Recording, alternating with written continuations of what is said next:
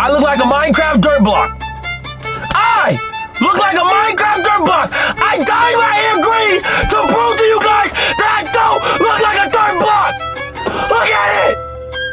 Look at it. I don't.